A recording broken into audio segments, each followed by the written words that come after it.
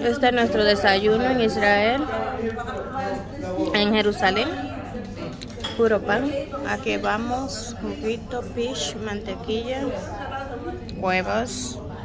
Aquí vamos, aquí vamos.